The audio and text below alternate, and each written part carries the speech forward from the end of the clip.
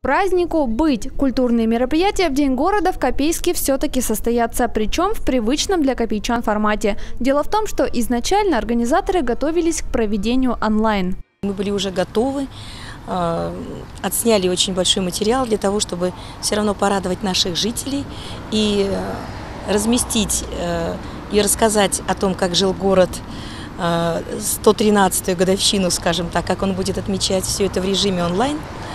А, это должно было разместиться на экранах на двух, на проспекте Трудовой Славы.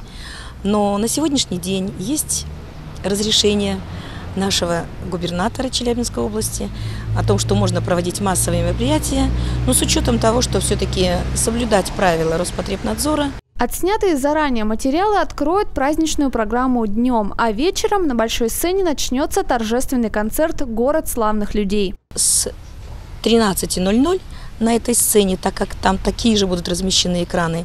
Все, что было отснято ранее материал, готовился для режима онлайн, он точно так же будет продемонстрирован. Все будет э, торжественно, красиво. Начало мероприятия в 18.00 на площади Трудовой Славы, где большая сцена. Завершат концерт выступления московских артистов и салют. Попасть на праздник будет легче. На сегодняшний день организаторы планируют отказаться от перекрытия дорог.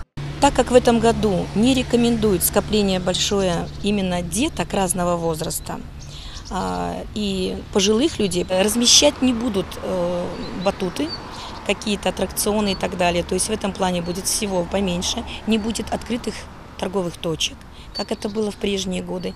И поэтому, наверное, все-таки ограничено будет вот это количество предлагаемых развлекательных моментов. То есть основной будет акцент на вечернее мероприятие. Поэтому перекрытий не будет практически никаких. Только в том месте, около торгового центра «Славы», где будет размещаться э, сам фейерверк. Культурные мероприятия продолжатся и 30 августа. Праздничное настроение в День шахтера жителям поселков будут создавать передвижные агит-бригады.